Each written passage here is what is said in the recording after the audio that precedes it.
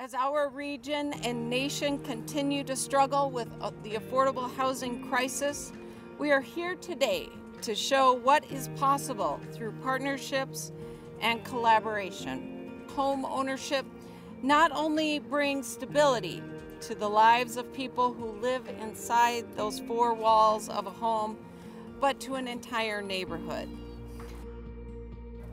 We know that there are so many others out there who are working hard each day to realize the American dream. And we say to you, don't give up. It is also why funding sources and programs, such as what the city will be announcing here today, are so important. What they do is give households, like the Melendezes, a way to find stability, which in turns help their children and grandchildren grow in confidence and gain access to opportunities that they didn't have when they were young. It's programs like these that strengthen our communities and bring us together as a human family.